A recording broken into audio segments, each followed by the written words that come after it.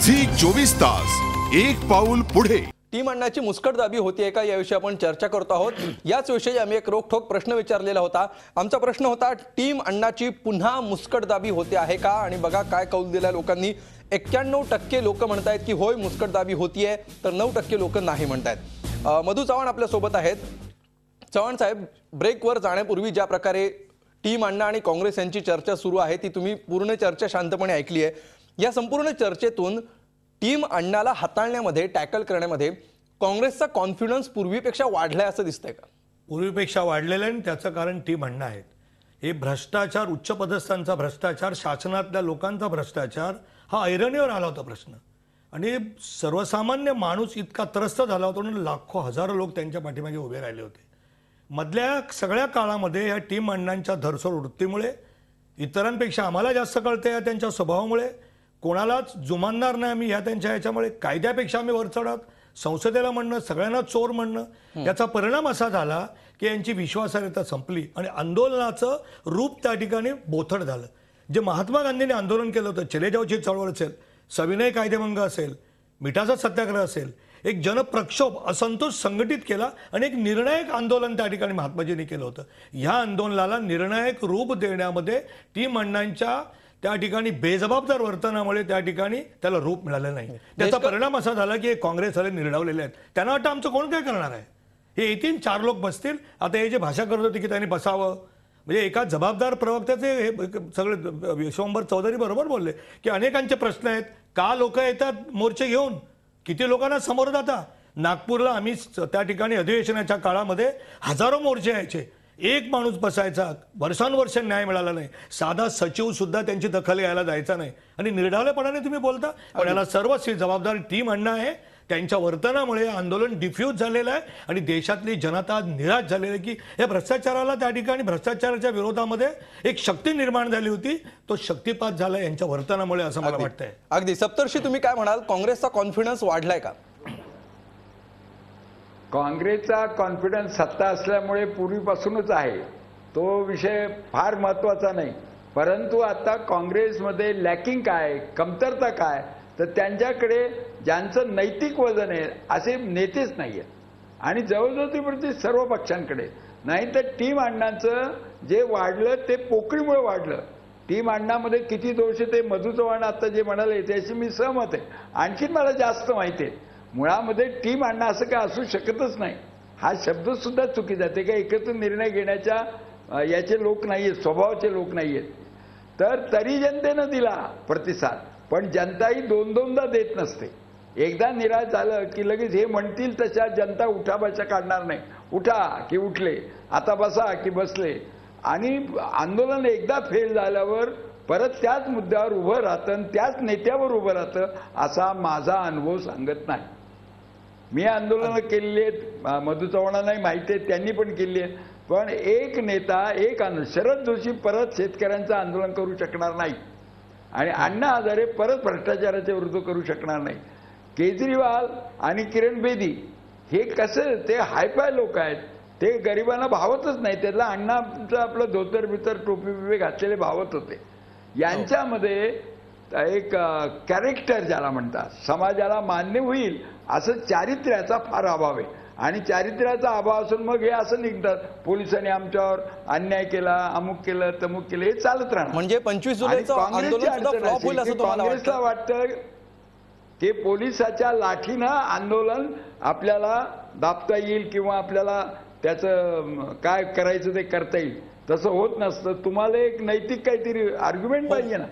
अगदी म्हणजे फळीच नाही आता नैतिक आर्ग्युमेंटची अगदी म्हणजे हे पंचवीस जुलै पासूनचं आंदोलन सप्तर्षी हे आंदोलन आता फ्लॉप होईल असं तुम्हाला वाटतंय का? साधारणपणे जनता परत परत उठत नसते. त्यांचे काही एनजीओचे लोक असतील ना ज्यांना पेमेंटच असतं ते येतील ना. आणि मीडिया दाखवल्यामुळे तर काय ते बघायला जावं म्हणूनही जातील लोक. पण त्याचा अर्थ ती जनशक्ती नव्हे. जनशक्ती लोकशक्ती त्याचा जो फील आहे तो अत्यंत वेगळा असतो. तो लहान आहे का मोठा आहे हा मुद्दा नाहीये. आणि आता या- हे जर खरे असतील तर हे सगळे त्या दिवशी बंदी मोडून जेलमध्ये जातील. आणि म्हणतील की आम्ही कायद्याचं आदर राखतो आणि स्वतः जेल स्वीकारतो.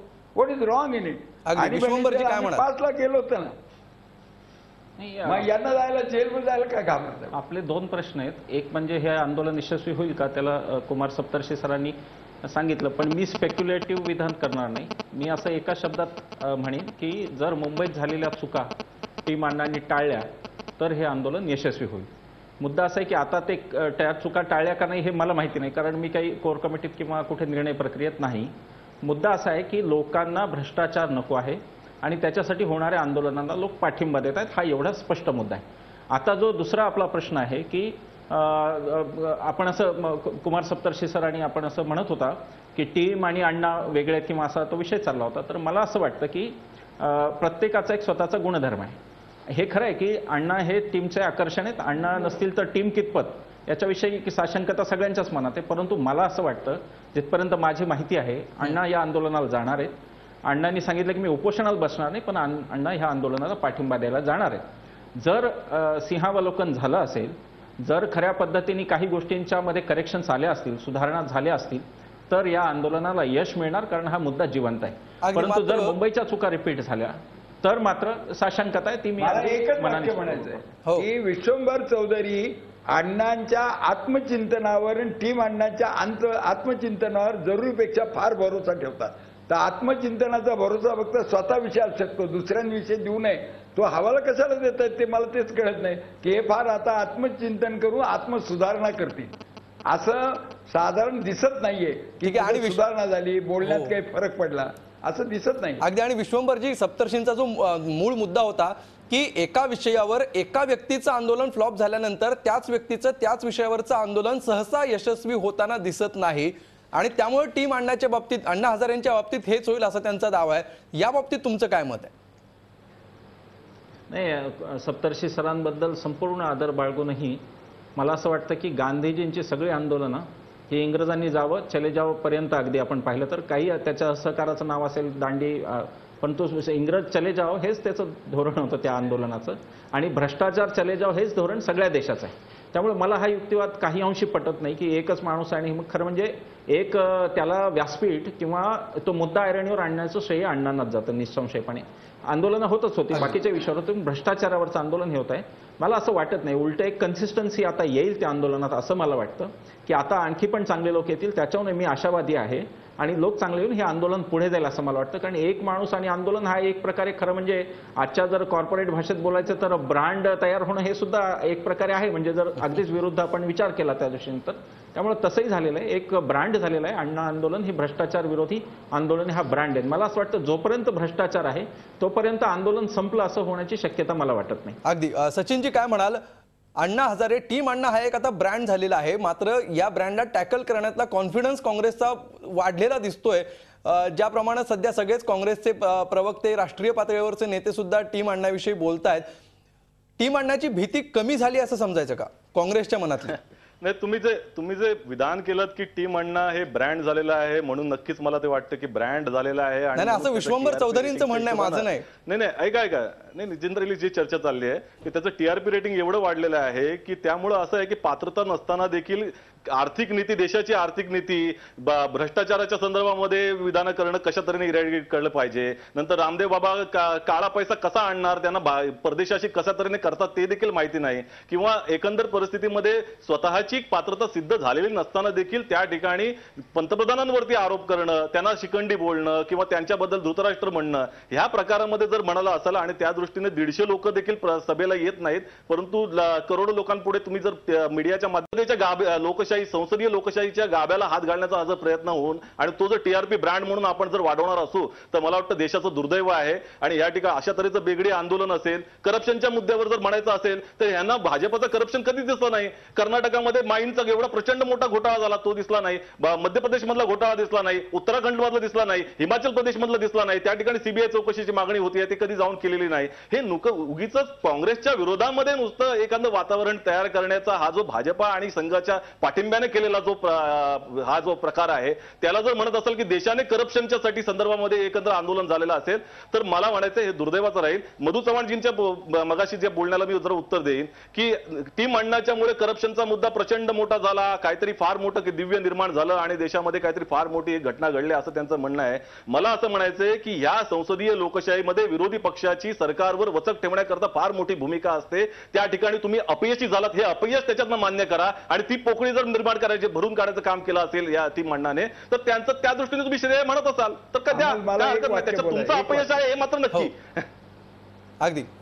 हॅलो. विरोधी पक्षाचं अपयश नाही त्याचं? कारण असं की सत्तेचा मला अगदी सप्तर्षी मी येतो तुमच्याकडे मधु चव्हाण बोलतात. म्हणजे मी हा शब्द वापरू नये परंतु त्यांची क्षमा वापरून वापरतो की यांना सत्तेचा इतका माज झालेला आहे की विरोधी पक्ष ज्यावेळेला चर्चा करतात त्यावेळेला यांनी काय बेजबाबदारीने उत्तर देतात. आणि आता यांचे कलमाडींपासून तर हे राजापासून सगळे मंत्री जे जेलमध्ये गेले आहेत तिहारमध्ये ते विरोधी पक्षांनी त्या ठिकाणी लावून धरला प्रश्न त्याच्यामुळेच आहे.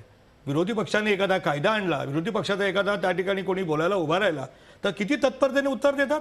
कशा प्रकारचे बेजबाबदारपणे वर्तन करतात? सत्ताधारी पक्ष आहे ना तुमचा.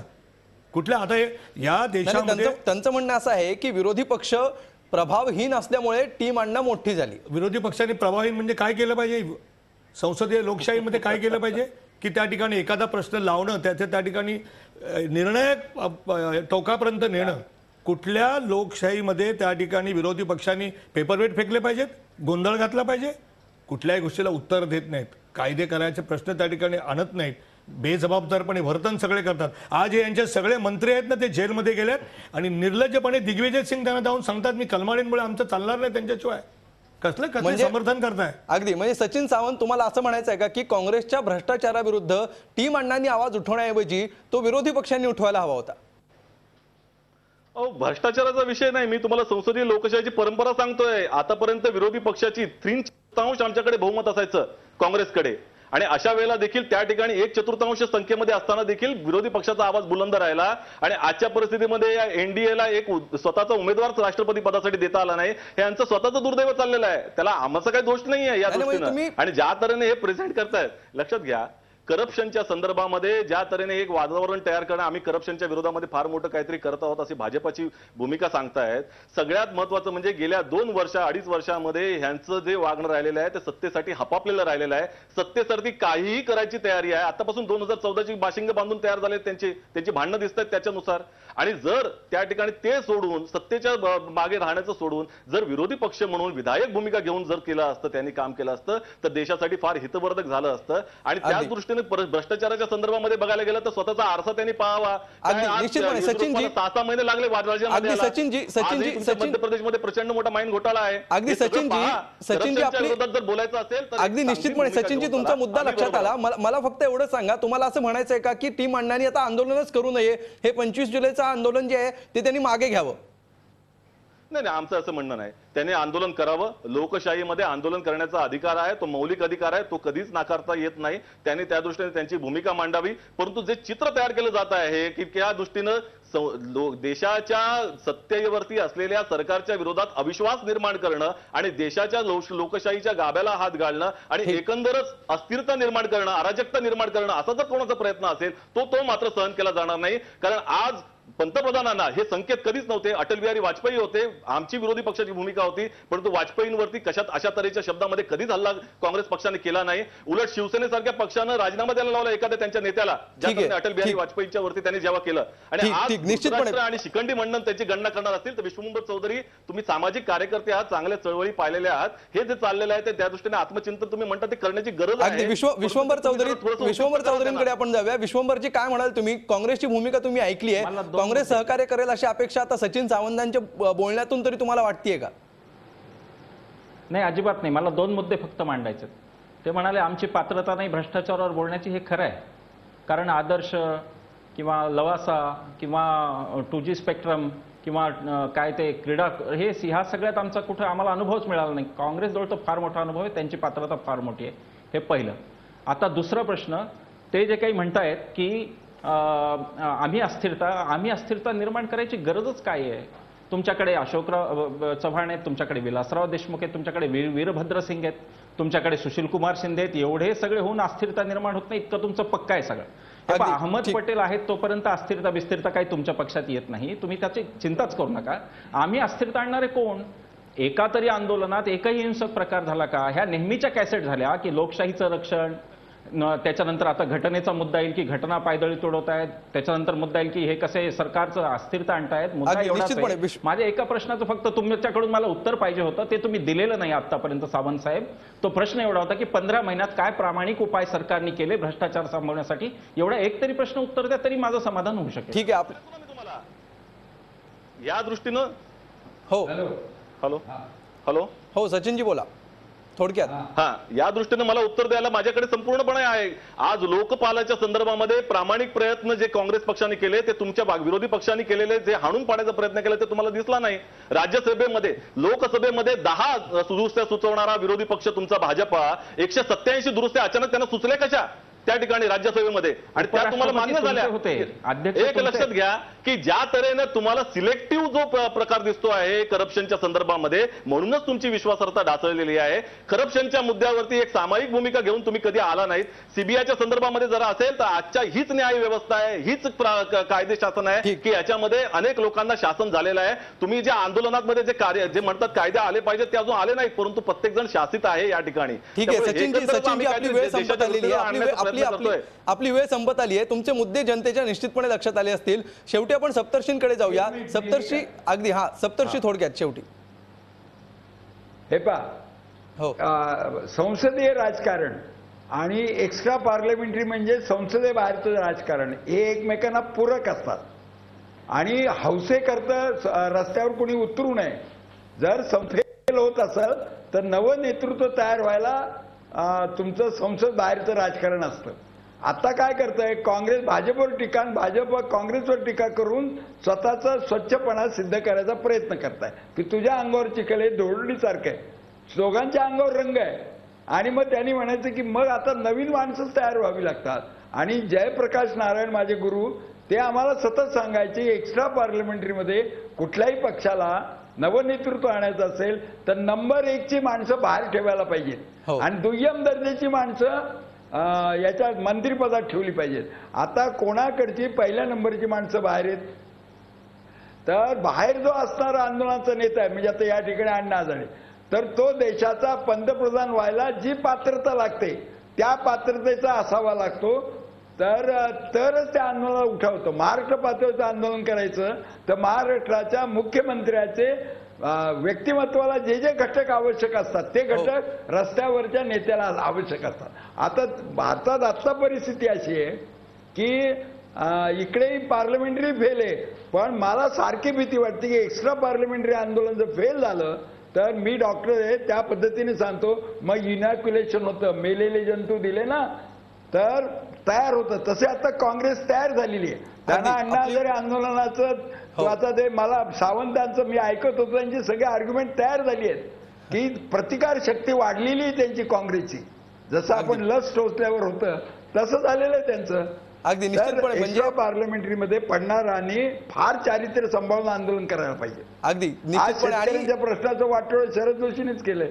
अगदी निश्चितपणे कारण आता शेतकरी उठूच शकत नाही. अगदी सप्तर्षी तुमचा मुद्दा लक्षात आलेला आहे आणि खूप महत्त्वाचा मुद्दा आहे हा संपूर्ण देशासाठी आपण म्हणूया.